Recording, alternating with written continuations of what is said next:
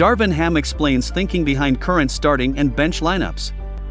Welcome to the Lakers News Channel. Subscribe and activate the notification bell to follow everything about our team. So far, Los Angeles Lakers head coach Darvin Ham has done a good job in his first year manning the sidelines. Ham has already had to deal with several injuries to key players, yet he and the Lakers have managed to overcome their slow start to the 2022 23 season recently.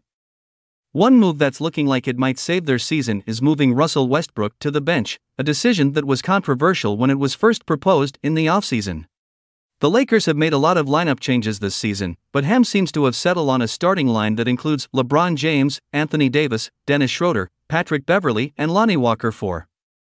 It can be argued that Westbrook and others like Austin Reaves and Troy Brown Jr. should start given their strong play, as well as the struggles of Beverley in particular. But Ham explained he likes the balance that's created with his point guard and bench guys, via Spectrum Sportsnet. Absolutely. Provide that balance, one two punch. I think every good team has to have a one two punch. You have your guys who initiate the game with, and you have your guys that you come off with that sustains you hopefully.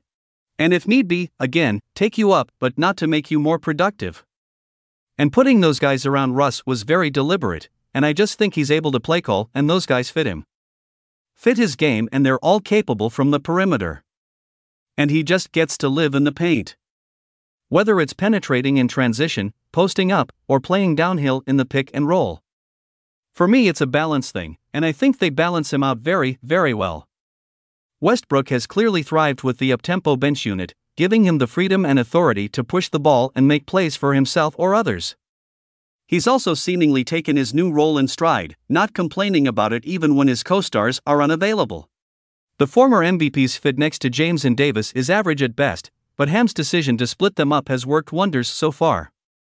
Although Los Angeles still has a ways to go to get back into playoff contention, they are taking steps in the right direction.